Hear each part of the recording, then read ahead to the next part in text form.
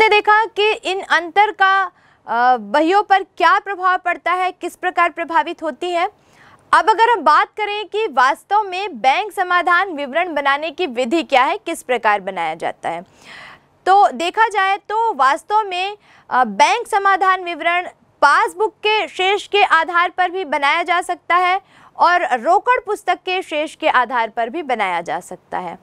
जब हम पासबुक के शेष के आधार पर बैंक समाधान विवरण का निर्माण करते हैं तो हम रोकड़ पुस्तक का शेष ज्ञात कर लेते हैं और जब हम रोकड़ पुस्तक के शेष के आधार पर बैंक समाधान विवरण का निर्माण करते हैं तो हम पासबुक का शेष ज्ञात कर लेते हैं।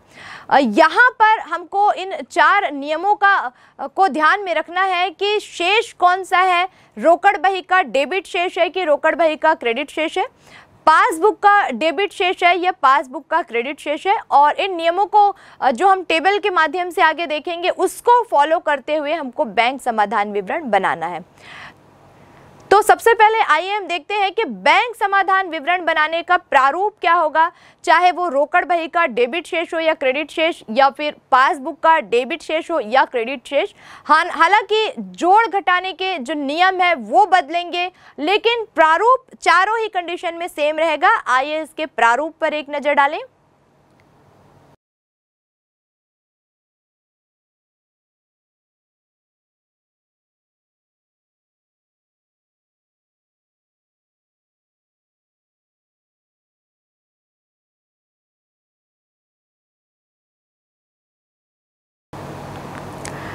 हमने देखा कि किस प्रकार रोकड़ बही के डेबिट शेष के आधार पर जब हम बैंक समाधान विवरण बनाते हैं तो वहाँ पर जोड़ और घटाव के जो नियम होते हैं, वो सारे के सारे नियम पलट जाते हैं, तब जबकि हम रोकड़ बही के क्रेडिट शेष के आधार पर बैंक समाधान विवरण बनाते हैं।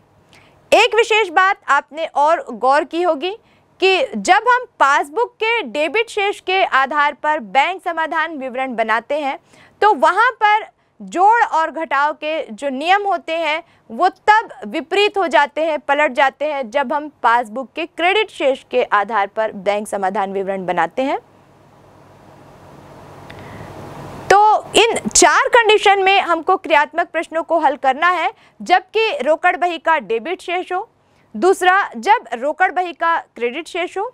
तीसरा, जब पासबुक का डेबिट शेष हो। और चौथा, जबकि पासबुक का क्रेडिट शेष हो।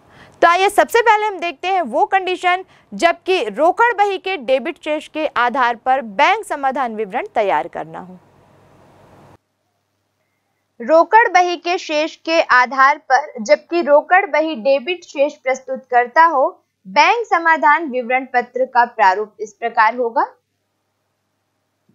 रोकड़ बही के बैंक कॉलम का डेबिट शेष फाइनल अमाउंट कॉलम में लिखा जाएगा और उसमें जोड़ने वाली मदें होंगी। पहला, निर्गमित किए गए चेक जो भुगतान के लिए प्रस्तुत नहीं हुए, cheque issued but not presented for payment. दूसरा, बैंक द्वारा दिया गया ब्याज interest allowed by the bank. तीसरा, बैंक द्वारा संग्रहित विनियोग पर ब्याज, लाभांश, विपत्र की राशि। Interest on investment dividend amount of bills collected by the bank चौथा, ग्राहकों द्वारा हमारे खाते में सीधे बैंक में जमा राशि direct deposited by our customer into the bank in our account इसके अंतर्गत घटाने वाली मदे इस प्रकार होंगी। पांचवा, बैंक में जमा चेक जो संग्रहित नहीं हुए cheque deposited but not yet collected and credited छठवा बैंक व्यय कमीशन बैंक अधिविकर्ष पर ब्याज बैंक द्वारा लगाया गया।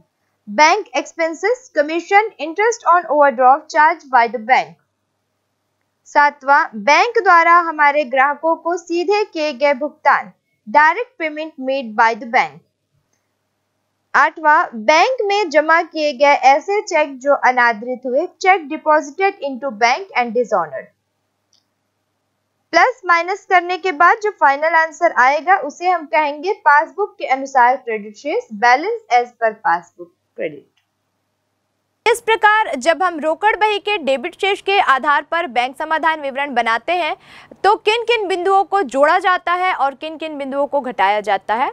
ठीक इसी प्रकार जब रोकड़ बही के क्रेडिट शेष के आधार पर बैंक समाधान विवरण बनाया जाएगा तो जिन बिंदुओं को, जिन मदों को हमने यहाँ पर जोड़ा था, उनको अब हम घटा देंगे और जिन मदों को हमने घटाया था, उनको हम जोड़ देंगे।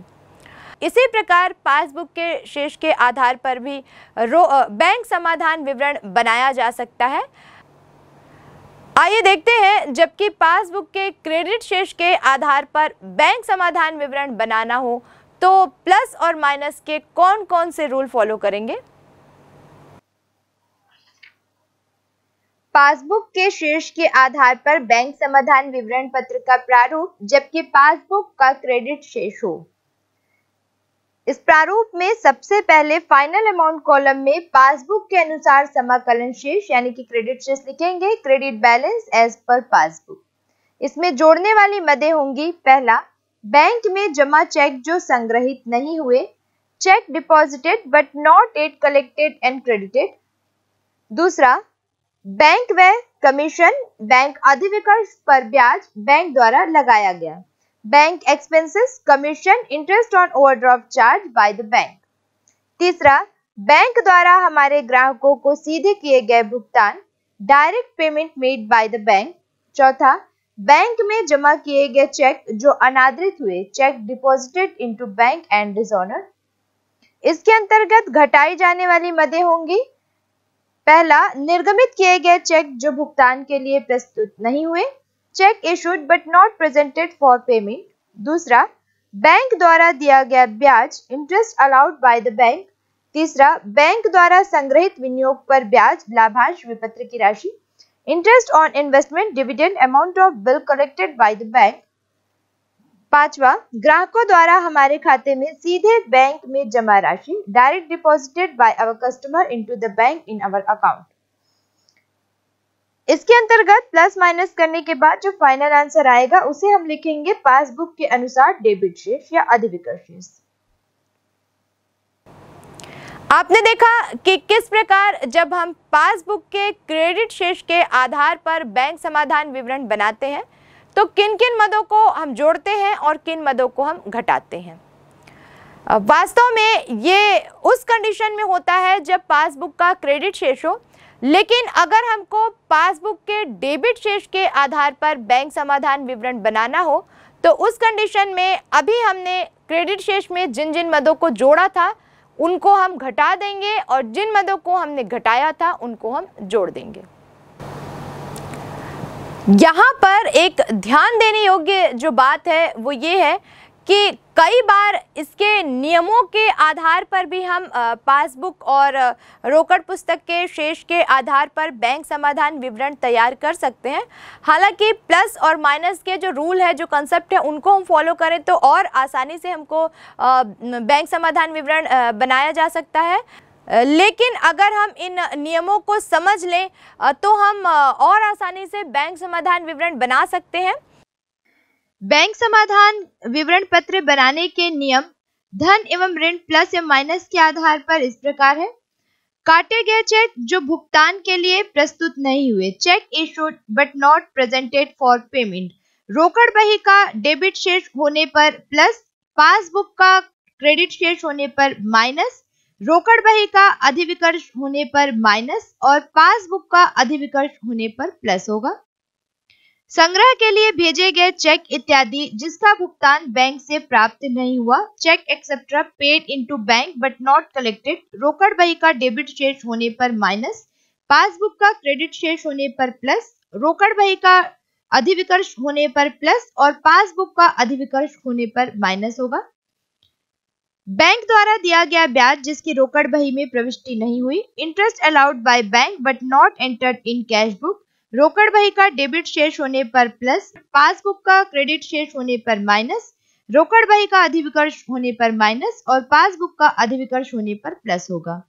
बैंक द्वारा लगाए गए व्यय जिनकी प्रविष्टि रोकड़ बही में नहीं हुई expenses charged by bank but not entered in cash book रोकड़ बही का डेबिट शेष होने पर माइनस पासबुक का क्रेडिट शेष होने पर प्लस, रोकड़ बही का अधिविकर्ष होने पर प्लस और पासबुक का अधिविकर्ष होने पर माइनस होगा। चेक इत्यादि जो संग्रह के लिए बैंक भेजे गए और बैंक ने इन्हें क्रेडिट यानी समाकलन कर दिया, किंतु रोकड़ बही में इनकी प्रविष्टि छूट गई हो। Cheque check etc paid into bank for collection and credited by bank but omitted to be credited in cash but omitted to be entered in cash book रोकड़ बही के डेबिट शेष की दशा में प्लस होगा पासबुक के क्रेडिट शेष की दशा में माइनस होगा, रोकड़ बही के अधिविकर्ष की दशा में माइनस और पासबुक के अधिविकर्ष की दशा में प्लस होगा। बैंक में जमा किए गए चेक अनादृत हो गए, किंतु रोकड़ बही में अनादरण की प्रविष्टि नहीं की गई। check etc paid into bank and dishonored by no entry passed in cash book for dishonored रोकड़ बही के डेबिट शेष की दशा में माइनस होगा, पासबुक के क्रेडिट शेष की दशा में प्लस होगा रोकड़ बही के अधिविकर्ष की दशा में प्लस होगा और पासबुक के अधिविकर्ष की दशा में माइनस होगा। बैंक अधिविकर्ष पर ब्याज जो बैंक में लगाया गया, पर रोकड़ बही में प्रविष्टि नहीं हुई। Interest on bank overdraft charged by the bank but not entered in cash book रोकड़ बही के डेबिट शेष की दशा में माइनस होगा। पासबुक के क्रेडिट की शेष की दशा में प्लस होगा। रोकड़ बही के अधिविकर्ष की दशा में प्लस और पासबुक के अधिविकर्ष की दशा में माइनस होगा। बैंक द्वारा भुगतान किया गया बीमा प्रीमियम रोकड़ बही के डेबिट शेष की दशा में माइनस होगा, पासबुक के क्रेडिट शेष की दशा में प्लस होगा, रोकड़ बही के अधिविकर्ष की दशा में प्लस होगा और पासबुक के अधिविकर्ष की दशा में माइनस होगा। विनियोग पर ब्याज पासबुक में लिखा गया, रोकड़ बही में नहीं interest on investment entered in passbook but not entered in cash book रोकड़ बही के डेबिट शेष की दशा में प्लस होगा, पासबुक के क्रेडिट की दशा में माइनस होगा, रोकड़ बही के अधिविकर्ष की दशा में माइनस होगा और पासबुक के अधिविकर्ष की दशा में प्लस होगा। बिल के निवर्तन पर छूट को पासबुक में लिखा गया, रोकड़ बही में नहीं लिखा गया। Rebate on retiring of bill entered in passbook but not in cash book, रोकड़ बही के डेबिट शेष की दशा में प्लस होगा, पासबुक के क्रेडिट शेष की दशा में माइनस होगा रोकड़ बही के अधिविकर्ष की दशा में माइनस और पासबुक के अधिविकर्ष की दशा में प्लस होगा। ग्राहक द्वारा बैंक को सीधा भुगतान, direct payment by the customer into bank रोकड़ बही के डेबिट शेष की दशा में प्लस, पासबुक के क्रेडिट शेष की दशा में माइनस रोकड़ बही के अधिविकर्ष की दशा में माइनस और पासबुक के अधिविकर्ष की दशा में प्लस होगा। निर्गमित किया हुआ चेक जिसका भुगतान हो गया, किंतु रोकड़ बही में लिखने से छूट गया।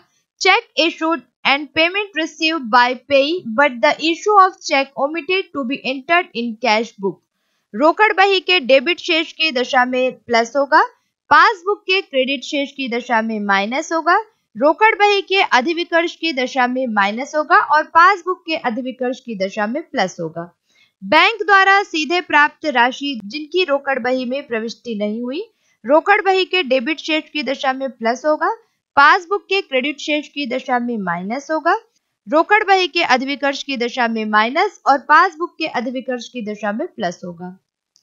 चेक इत्यादि जिनकी प्रविष्टि रोकड़ बही में डेबिट में की गई, किंतु बैंक भेजे ना जा सके, cheque etcetera entered in debit side of cash book but not sent into bank रोकड़ बही के डेबिट शेष की दशा में माइनस होगा, पासबुक के क्रेडिट शेष की दशा में प्लस होगा रोकड़ बही के अधिविकर्ष की दशा में प्लस और पासबुक के अधिविकर्ष की दशा में माइनस होगा। बैंक से सीधे भुगतान, जिसका रोकड़ बही में लेखा नहीं हुआ, direct payment from bank not entered in cash book, रोकड़ बही के डेबिट शेष की दशा में माइनस होगा, पासबुक के क्रेडिट शेष की दशा में प्लस होगा, रोकड़ बही के अधिविकर्ष की दशा में प्लस होगा और पासबुक के अधिविकर्ष की दशा में माइनस होगा।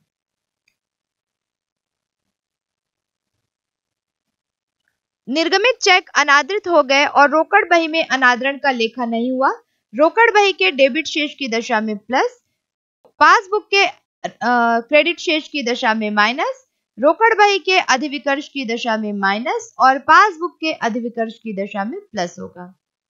पासबुक के नामे यानी विकलन पक्ष में कोई अशुद्ध प्रविष्टि होने पर रोकड़ बही के डेबिट शेष की दशा में माइनस, पासबुक के क्रेडिट शेष की दशा में प्लस पासबुक के रोकड़ बही के अधिविकर्ष की दशा में प्लस और पासबुक के अधिविकर्ष की दशा में माइनस होगा। पासबुक के क्रेडिट पक्ष में अशुद्ध प्रविष्टि होने पर रोकड़ बही के डेबिट शेष की दशा में प्लस, पासबुक के क्रेडिट शेष की दशा में माइनस, रोकड़ बही के अधिविकर्ष की दशा में माइनस और पासबुक के अधिविकर्ष की दशा में प्लस होगा। वास्तव में दोनों के नियमों को जब हम कंपेयर करते हैं, यानी कि पासबुक और कैश बुक तो हमको जो डिफरेंस देखने को मिलता है, उसके कारण को हम समझ लें, उसके प्रभाव को हम समझ लें तो अगर हमको प्लस माइनस का रूल याद ना भी रहे तो भी हम बैंक समाधान विवरण बना सकते हैं। जैसे कि एक उदाहरण के आधार पर हम देखते हैं कि पाँच हज़ार रुपये का एक चेक राम को जारी किया। जिसमें रोकड़ बही पाँच हज़ार रुपये से कम हो जाएगी। अब हमने राम को पाँच हज़ार रुपये का एक जा, चेक जारी किया। तो ज़ाहिर सी बात है जब हम राम को चेक देंगे तो रोकड़ पुस्तक से हम पाँच हज़ार रुपये माइनस कर देंगे कि हमारे जो कैश में कैश जो था हमारे पास वो अब खत चला गया। पाँच हज़ार रुपये से वो कम हो गया। लेकिन राम जो है वो बैंक समाधान विवरण बनाने की तिथि तक उसको पासबुक में आ, उसको बैंक में ले जाकर प्रस्तुत नहीं करता है। तो बैंक उसको हमारे अकाउंट से काटेगा नहीं उस पैसे को। तो हमको तो ये लगेगा कि हमारे बुक्स ऑफ़ अकाउंट से पाँच हज़ार रुपये कम हो गए। लेकिन राम ने उसको अभी तक बैंक में प्रस्तुत नहीं किया। तो वहाँ पे पासबुक से तो वो पाँच हज़ार रुपये माइनस हुआ नहीं। तो इस कंडीशन में फिर से पासबुक और कैश बुक दोनों में डिफरेंस आ जाएगा। तो ऐसे बहुत सारे आय व्यय होते हैं, बहुत सारे चेक की प्राप्ति और निर्गमन की दशाएँ होती हैं। जब भूलवश या छल कपट की दृष्टि से या किसी अन्य कारण से, चाहे वो बैंक की गलती हो या व्यापारी की गलती हो, किसी भी पक्षकार की गलती हो, कुल मिलाकर होता ये है कि बैंक में पासबुक में जमा होती है अमाउंट रोकड़ बुक में लिखने भूल जाते हैं, रोकड़ पुस्तक में लिख देते हैं, पासबुक में लिखना भूल जाते हैं। कई दशाएँ अगर हम इनको ध्यान से सोचें कि कहाँ पर धनराशि कम हुई है और कहाँ पर बढ़ रही है तो उसके आधार पर हम बहुत आसानी से बैंक समाधान विवरण बना सकते हैं।